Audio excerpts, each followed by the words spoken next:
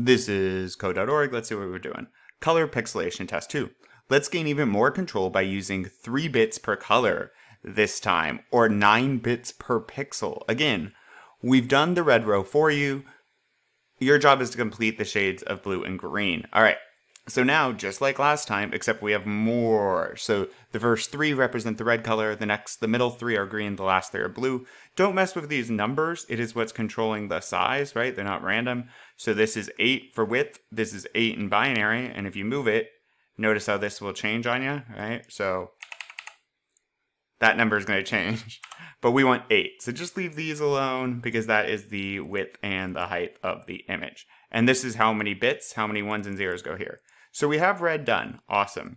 Well, it looks like they're starting off, off with black again, so that's going to be all zeros, right? All false. We're going to have all of those lights off. Now, next up, they're doing the third pixel of red. So this is red, this is red, this is red. The only one is on is this one.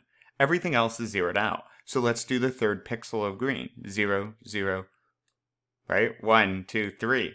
So that's the sixth pixel in the whole thing. We don't need any red. One, two, three, one, two. And here's the third pixel of green. Zero, zero, zero for blue. Now they do the middle pixel of red right here. Okay, so that's the second pixel from the left, I guess.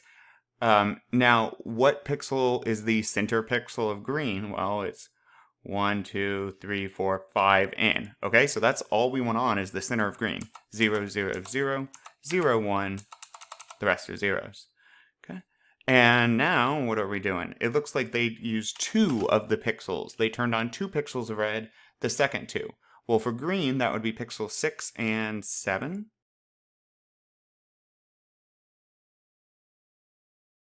Oh, that would be 5 and 6. 5 and 6, and then 3 for that. Now what is it? It's the first pixel of red, which would be the fourth pixel for green.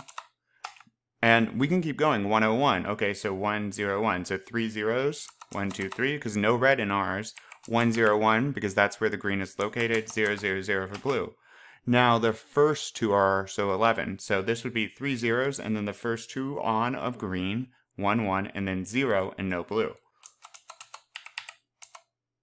Finally, all of the red on, one, two, three, all of them turned on. So let's just have no red on, but all the green on, no blue. Cool. And now we need to do this again except for, well, blue. So blue's the final one. What do they have here? It's the last of the red up here. So the last of the red's there. Where's the last of the blue? All the way at the end. Okay, now it's the middle of the red. The middle of the blue is one from the left. So everything else will be zero just like they had it. That's the only blue pixel we'll have on.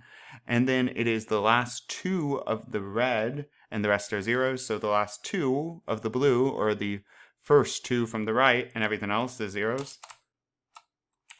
And then the first of the red is right here, but the first of the blue is three from the right, and everything else is zeros. And then 101, so whoop, 101. And then 11 or 110, 110 for red, so 110, so six zeros. And then 110, these first two pixels would be on, and finally all of the blue on. Boom.